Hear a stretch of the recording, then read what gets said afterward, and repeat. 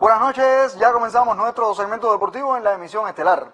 La selección masculina cubana de voleibol enfrenta en estos momentos a su similar de Puerto Rico en la Copa Panamericana Norseca Final Six con sede en México.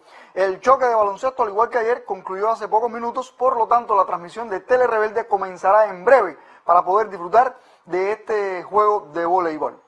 Y ya les decía, el equipo de baloncesto de nuestro país en el sector femenino acaba de vencer a Jamaica en el torneo del Caribe con sede en el Coliseo de la Ciudad Deportiva de La Habana. El marcador fue abrumador, 85 por 32 y hace solo cuatro minutos concluyó el choque en la instalación habanera. Vamos a tener más detalles en próximos espacios informativos. Así que tenemos dos eventos en vivo, como ustedes saben, por estos días, tanto el voleibol como el baloncesto y ambos con transmisión de Tele Rebelde. Por otra parte, el equipo de Granma terminó en el quinto lugar de la semana beisbolera de Harlem. Los alazanes reforzados se despidieron hoy con su única victoria del certamen al vencer a Italia cinco carreras por una. Esta vez sí funcionó la ofensiva después de recibir 28 escones consecutivos. La victoria correspondió al espirituano Joenzo Carras, quien ponchó a 8 en 6 y un tercio de labor. Guillermo Vilés conectó tres imparables y empujó igual cantidad de carreras. Siguiendo con nuestro deporte nacional, la polémica de los nuevos nombres que animarán la Liga Élite del béisbol cubano sigue al rojo vivo en las redes sociales y en cualquier espacio físico donde se hable de pelota en Cuba. Sobre este tema, veamos qué le dijo a este noticiero el comisionado nacional de béisbol Juan Reinaldo Pérez Pardo. Los seis nombres iniciales que fueron propuestos de ellos, cuando se llevaron a la consulta popular, eh, cuatro de ellos tuvieron una aceptación por encima del 50%. Y esta herramienta permitía al que no estuviese de acuerdo con el nombre sugerir un nombre para cada equipo. De esta manera surgieron por cada equipo conformado más de 100 propuestas de nombre, incluso más de 200 propuestas de nombre en algunos casos. Y en ese caso estaba Tabacalero, en ese caso estaba Centrales, en ese caso estaba Cafetaleros y en ese caso estaba Ganaderos.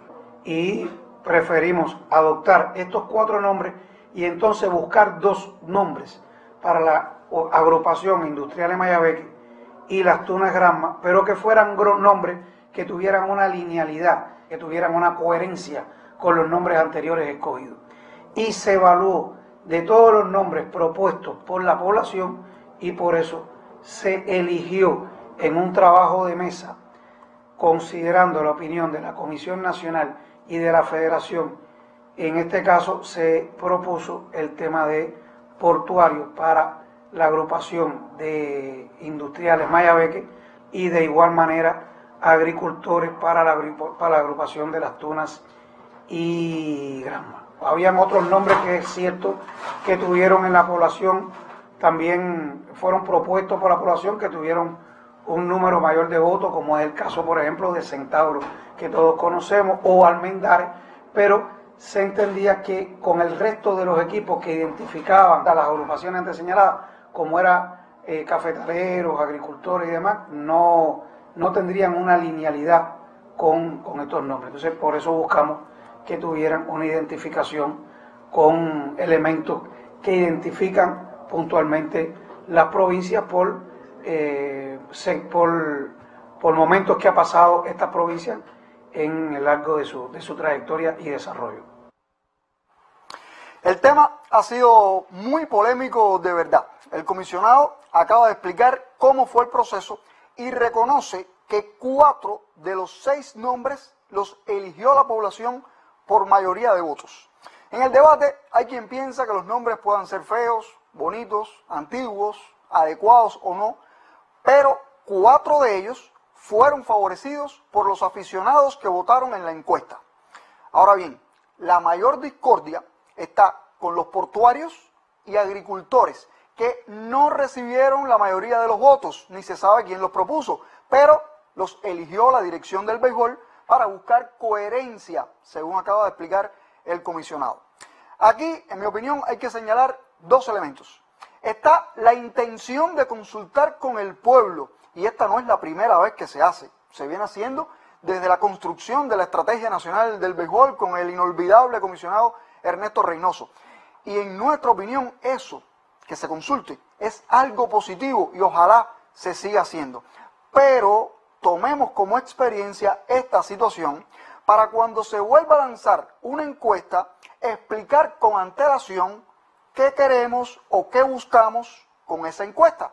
Le comunicamos previamente a los aficionados que no se trata de un concurso de popularidad para premiar a los ganadores, sino una consulta solo para obtener opiniones y a partir de esos miles de criterios tomar una decisión lo más coherente posible.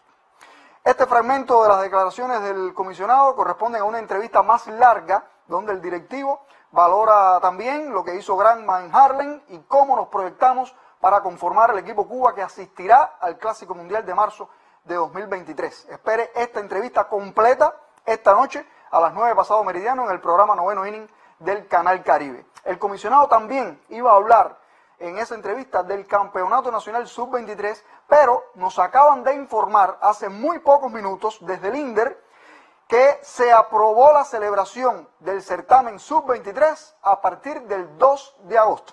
Así que tendremos más detalles en próximas emisiones. Hasta aquí el deporte. Buenas noches.